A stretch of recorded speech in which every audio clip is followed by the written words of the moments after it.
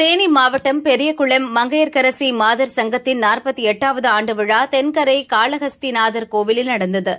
புலவர் ராஜரத்தினம் தலைமை வகித்தார். குன்றக்குடி பொன்னம்பல அடிகளார் பேசினார். அண்ணன் தம்பி எல்லோரும் வரவு செலவு கணக்கைத்தான் பார்க்கணும். வாழ்க்கை என்பது வரவு செலவு கணக்காய் போய்விட்டது. வாழ்க்கைக்கு பொருள் தேவை அதை போல நாம் வாழ்வதிலும் பொருள் தேவை என்ற நிலையை விட்டு நாம் விலகிவிட்டோம். அப்போ மணிவாசன் பெருமான் அதே அடித்தளத்தை தான் கேட்குறாரு நீயும் நானும் பழகி இருக்கமே யாருக்கு லாபம்? கேட்பவர் மணிவாசன் பெருமான்.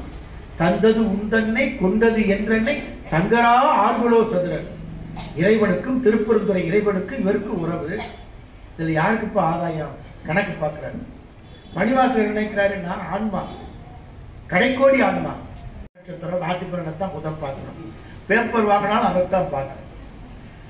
அடியார் பெருமக்களுக்கு எல்லா நேரமும் நல்ல நேரம். அதான் மகாசஞ்சானம் சொல்லுவாங்க. காலம் பொன்னானதா? இல்லை. பொன்னை விட சிறந்தது. இழந்த பொன்னை பெற்றுவிடலாம். இழந்த காலத்தை ஒருபோதும் பெற முடியாது. அதே போல நம்முடைய சமயத்திற்கு இருக்கிற சகிப்புத்தன்மை. நாமக்கர் சிவருமானை வெந்நீற்றரை இடுகிறாங்க. சுகந்தம் என்று சொல்லுகிறார் யார் மீதும் அவர் கோபப்படலை கல்லில் கட்டி கடல்ல தூக்கி போட்டாங்க. மிதந்து வந்தார். அப்பையும் யார் மேலே கோபப்படலை யானையும் விரும்புகிறாள். உலகத்தில் ஒரு பெண் எதை அதிகம் விரும்புகிறாள் இதுதான் கேள்வி. ஆனா இன்னைக்கு என்ன நடக்குது? வாழை மரமாய் பிறந்திருந்தால் வாழ்க்கை துணையின்றி குலைவிடலாம். வாழை மரமாய் பிறந்திருந்தால்.